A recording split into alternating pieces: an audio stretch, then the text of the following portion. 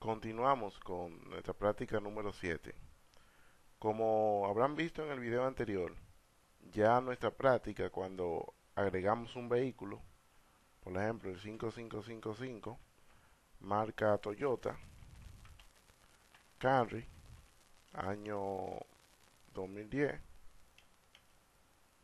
2010, dueño Julio, y le damos a guardar, él automáticamente nos está guardando una carpeta con el dentro de una carpeta que se llama archivos crea otra con el nombre de, la matrícula del vehículo. Y dentro hay una un archivo que se llama detalle. Según nuestra práctica nosotros también debemos subir una foto de ese vehículo. Para ese motivo vamos a modificar nuestro formulario. Como ustedes habrán visto, para ese, ese campo hemos puesto un, un input tipo file para que aparezca esto. Pero para que eso funcione, eh, tenemos que hacerle una modificación al formulario. Aquí vamos a poner otro atributo dentro del font que no hemos visto. Pero si ustedes van a la documentación de la clase, déjenme ver, le doy aquí para ir al principio. Voy a la semana actual, que es de archivos y carpetas, y veo esto de aquí, que dice upload de archivo.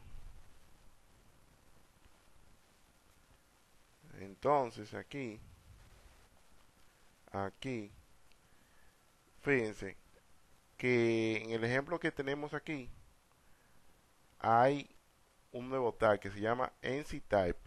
Eso le dice al formulario que cuando él se envíe, él va a enviar algo adicional que no es solamente texto. Si yo no le pongo esto, no funciona lo de la carga de archivo. Claro, él puede hacer este efecto que está aquí. Ese efecto de seleccionar un archivo, pero usted no va a poder hacer nada con eso desde PHP. Para que funcione hay que ponerle eso de ahí. Vamos a ampliarlo, que dice NC-Type igual a multipart phone data. Lo voy a poner así mismo.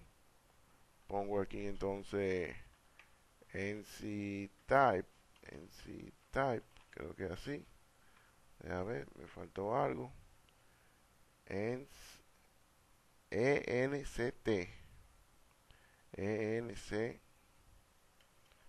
ENC NC-Type igual a multipart. Multipart la phone data. Perfecto tengo eso de ahí. Multipart phone data. Ya sí puedo enviar archivo desde este formulario Ahora tengo que recibirlo de aquel lado. Aquí, de este lado, cuando yo cojo todas las variables, yo voy a crear una decisión donde voy a decir si existe si existe un archivo que se llama un archivo que se llama ya esto no va, no va a estar no va a estar en post sino en una variable nueva que se llama files. Si files en la posición en la posición como se llama nuestro nuestro campo allá que dice aquí te quite foto ustedes vieron aquí utilicé files y no utilicé post porque yo me estoy refiriendo a otra cosa, que son los archivos que, que envió ese formulario, por eso pongo files. Si eso existe, o sea, si pusieron una foto, entonces, entonces, eh, yo voy a poner un mensaje aquí para probar que eso funciona. Eco, hay una foto. Vamos a ver vengo aquí le voy a dar a guardar. Eh, aquí me dio un error porque yo no puse ninguna ninguna matrícula. Entonces cuando intentó crear la la carpeta con esa con esa matrícula en blanco dio ese error. Le di a regresar. Voy a digitar los datos nuevamente. 7777 no voy a poner marca, modelo ni nada de eso y voy a coger una imagen que no tiene que ser precisamente una imagen porque yo no estoy validando que sean imágenes. Voy a poner eso. Y lo voy a dar a guardar. Entonces ustedes ven que hay algo aquí que dice que hay una foto efectivamente.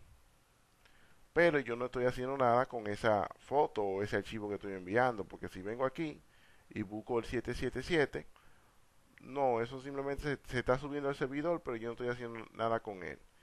Si yo pongo entonces la carpeta o la placa 3333 y le doy a guardar, eh, tampoco hace nada, porque yo no he elegido, no he elegido la imagen. Entonces, entonces, vamos a mostrar lo que contiene esa variable. Recuerden que hay una función que me sirve para yo mostrar el contenido de un arreglo que es printr. Voy a mostrar lo que tiene esa variable. La variable files en la posición txt foto. Si yo pongo la placa 1234 y le doy a guardar, fíjense que esa variable de por sí que se llama txt foto es un arreglo en el cual en la posición nombre no tiene nada, en la posición tipo tampoco tiene nada, y aquí en la posición error sí tiene algo. O sea, tiene cuatro errores porque en realidad yo no seleccioné ningún, ningún, ningún archivo o foto. Pero si yo elijo o digito otro vehículo y elijo un archivo, le doy a guardar, fíjense que ahora sí me aparecen los datos.